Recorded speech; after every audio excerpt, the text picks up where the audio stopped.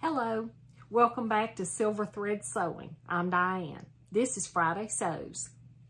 So as always, thank you for stopping by my channel. Um, I hope everyone's well and had a good week.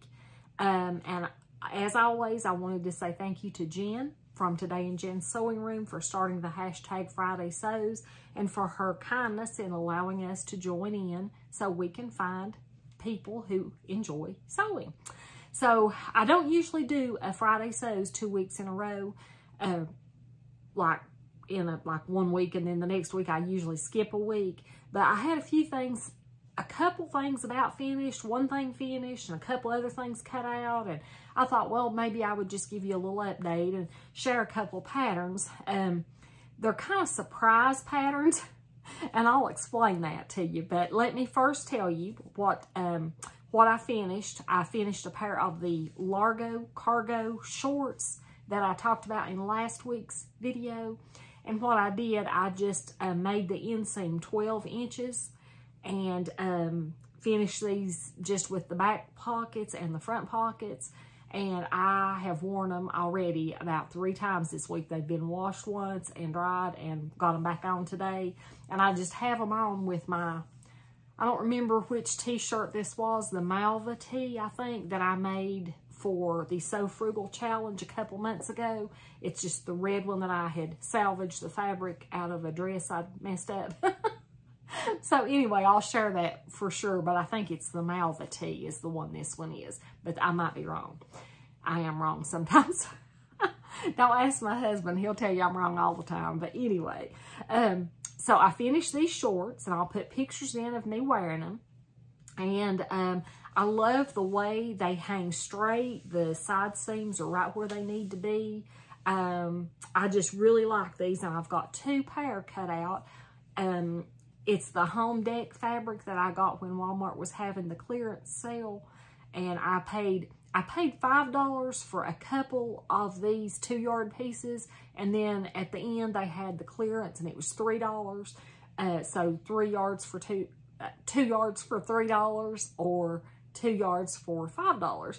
So I had a couple more that I only had two yards of and I was going to make another pair of shorts. And I've got those cut out and then the rest that I have, I have two pieces of each color. So there's at least one more that I want to make a pair of summer pants because it's pretty lightweight, but it's 100% cotton and it washes good and it's very cool and comfortable to wear. Um, I had another pair of Largo Cargo pants and they're made in this green kind of almost a canvasy fabric, but it's a little bit lighter than that. So I had, when I made these, I had tried to put a snap on the, the waistband instead of a button at the top of the zipper. And I had made a hole and I made the hole too big for the snap. So they had kind of stretched out and ripped out. And I could wear them, but they didn't look good. I found enough scraps of this fabric to cut a new waistband. And so that is what I have done. I cut a new waistband and I used my interfacing piecing technique where I piece the interfacing together and I'm going to put a new waistband on these pants because I love them. They fit me well. The zipper works great. They're great. They're good summer weight pants, but I didn't like the way the snap had stretched out and I, I goofed that up. So I've got a new waistband and I'm going to fix those hopefully this week and finish them. Now, beside of me on my mannequin is my um, Love Notions Rhapsody, and I cut the short sleeved pattern, but I lengthened the bodice from the bodice area down. I lengthened it by about 18 inches to make just a loose fitting Rhapsody blouse into a dress. And um, I have it almost finished.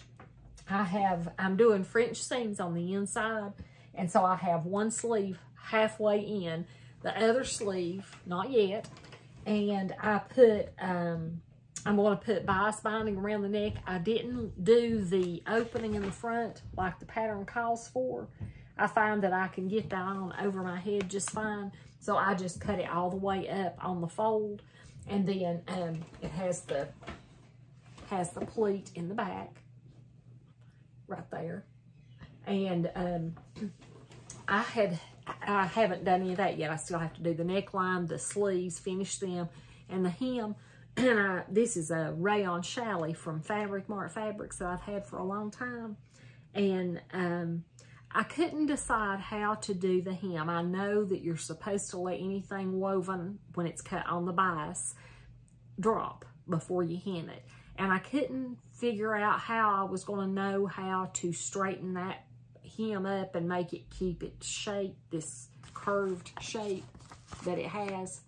So um, I know you can take your pattern piece and lay it back out and but I find that hard once the seams have been sewed for the side seams.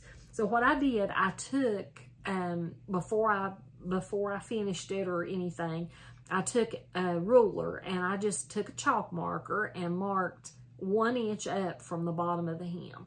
So when this finishes dropping or if it does drop, um, probably has a little bit already, I can take my ruler and measure down to the bottom from that mark and anything that's over one inch would be where I need to trim it. So I don't know if that'll work. I'm sure that's probably not the, the correct way to do it because this channel is about what not to do. so we'll see if that works, but I'm very happy with it so far and it did fit. I'm not 100% sure. I think I'm going to need to take it in at the waist just a little bit probably. Um, just to give it a little more shaping. I'm not sure yet, but it did fit and I love it and it's flowy and loose and I really like the way it looks at the top. So um, we'll see how that goes. So there was two new look patterns that I really wanted when they were having the clearance. They may still be having the clearance at Hobby Lobby, but my Hobby Lobby didn't have any more of the new look patterns. Um, the ones that I was looking for. So a friend found the two that I wanted, and I was going to share those with, with you as well as two other patterns that are kind of new to me. so the first one that, that, that I was able to get my hands on was New Look 6776, and it's a dress pattern, and it has princess seams, and you can do um, you can either do sleeveless or you can do these really pretty sleeves. And I just thought it was really pretty dress. And I would probably make this version. I'm a little worried that it might be a little too low in the front, but I'll cross that bridge when I get to it. and the other New Look pattern is New Look 6289. And it's just uh, elasticized pants and shorts. And the reason I wanted it I like the pants and I think they would be beautiful. But I wanted to make these shorts in probably a rayon or a cotton lawn or something lightweight. And they just looked really pretty. And I'll show you the line drawings on the back, hopefully. So that's the only two new patterns I have. Now, I had done some more cleaning this week. I'm winding it down. I've still got just a couple things to do here and there. But I had went through a bunch of fabric and went through my quilt scraps and just kind of tidied everything up and cleaned and straightened up my sewing room. And I have a tub, and I'll put a picture of it, just a little plastic tub.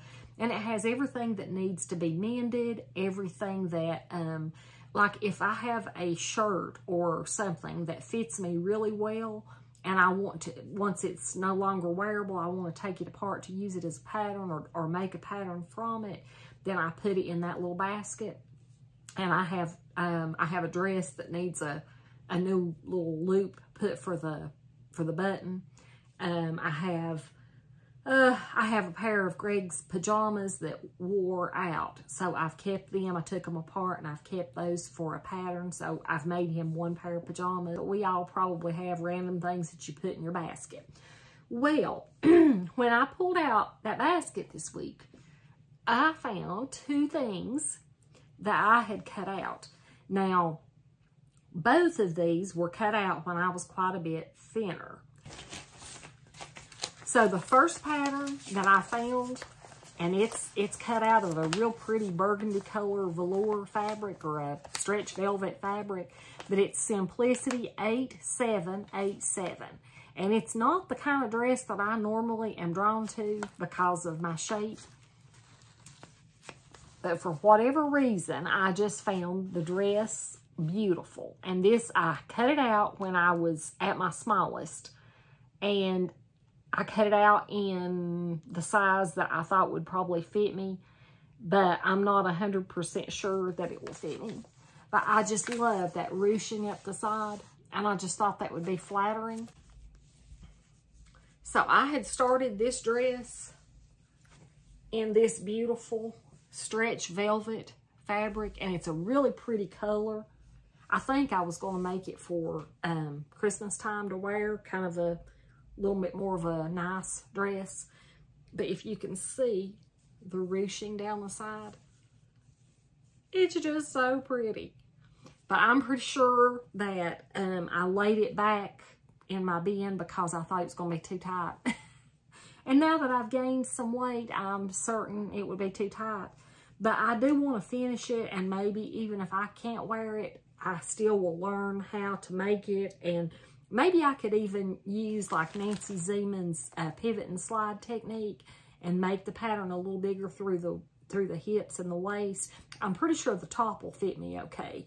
But um, I'm going to try to get this worked on because I just love this fabric and I just thought this pattern would be so pretty. But this has been in that bin for probably three or four years now and never has been finished. So I think that I should finish it and then if I can't wear it, maybe I can pass it to somebody who can. Um, and I had another one, the same story, except I didn't buy this pattern and I didn't buy this fabric long story short, a friend had moved here and she didn't have a sewing room. She had a sewing machine and she had a serger, but she didn't have a place to set them up and leave them. They, they moved into a smaller house. So she, uh, it was right after I had moved my sewing room downstairs into this room and we were talking one day and she said, well, you know, I have a serger. It's a brand new serger. It's never been taken out of the box. She said, I don't know how to use it. And she said, I don't have anywhere to set it up and leave it, and I don't have anywhere to even set my sewing machine up. So she said, how about you take this brand new serger, learn to thread it, learn to use it, set it up in your sewing room, and then you use it as much as you want to on whatever you want to make. And she said, then when I want to sew something, I'll come to your sewing room and maybe I can borrow your machine and use the serger just a project now and then. She did a lot of um, like historical um, costumes. I think's what she made primarily. So I, I said, sure. And I was, I didn't think I needed a serger. I had never, they, they, they were intimidating to me. So I didn't think I would ever use a serger. So I'd never even looked at them really. But I brought her serger home and got the manual out and I watched YouTube videos and I learned to thread it. and it was a, it was a Singer something. And if I can find a picture of it, I'll put it in. But it was a brand new Singer serger. And it worked great. I didn't have one bit of trouble with it. But when she came to sew one day, she brought me a dress pattern and she had bought me a piece of fabric. And this is the dress pattern that she bought me. And it is a Butterick Lisette pattern and it's um, B6411. And isn't that beautiful? And it reminds me of the dress that I tried to make, the Stylark dress a while back that had the had the thing across the front, but I messed it up too. But this one is very pretty, and this is the fabric that she picked out, and it's a very slinky knit. It's very lightweight. I guess in ITY it feels really slick. Um, but I have it cut out, and I cut it out. This pattern goes to a size 14, and I cut it out in the largest size. So I cut it out in a size 14. And I never started putting the pieces together. I had done the gathering stitches or the stay stitching on parts of it, but it's all the pieces are still here, and I've never finished it.